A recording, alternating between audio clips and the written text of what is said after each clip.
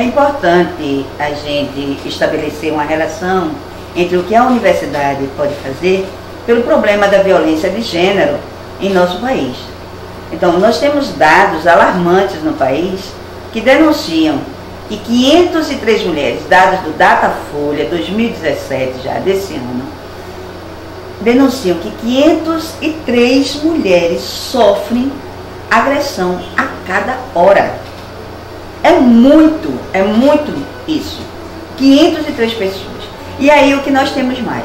13 mulheres são mortas a cada dia no país. Isso é uma, é uma guerra, isso.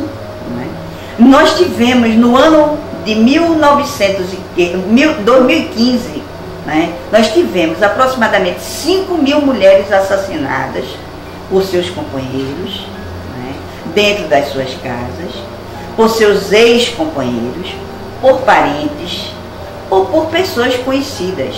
As mulheres não são assassinadas nem pelo fato de terem cometido algum delito, nem pelo fato de terem saído publicamente para se expor a qualquer agressão. Elas são sofredoras dessa agressão dentro de casa. Os dados são de 54% das mulheres.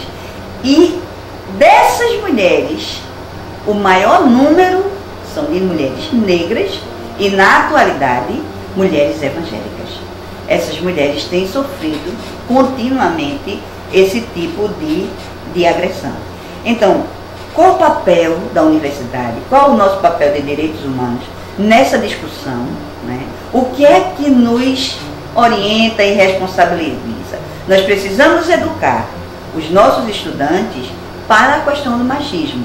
Embora a universidade lide com adultos, adultos que são juridicamente já responsáveis por si, esses adultos ainda são muito jovens e ainda carecem desse tipo de orientação, porque não é possível que a gente reproduza dentro de um mundo seleto como deveria ser o mundo da educação da universidade, as mesmas problemáticas que nós encontramos lá fora, é? em ambientes que são mais propícios, vamos dizer assim, a esse tipo de, de comportamento. Então, faz parte né, da atuação da universidade em termos de direitos humanos, de trabalho com os direitos humanos, incluir a compreensão de que nenhuma mulher, nem por biologicamente ser mulher, nem por apresentar características de gênero feminino, seja agredida e violentada com palavras, ações psicológicas, algumas vezes não necessariamente as mulheres sofrem agressão física, mas o fato de uma mulher, por exemplo, estar se deslocando e alguém gritar alguma coisa pejorativa em direção a ela, é uma agressão. Né?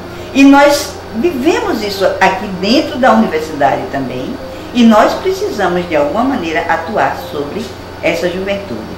Isso faz parte, na minha opinião, do quião dessa universidade em termos de contribuição social para que a questão de gênero seja vista de uma maneira mais socialmente saudável.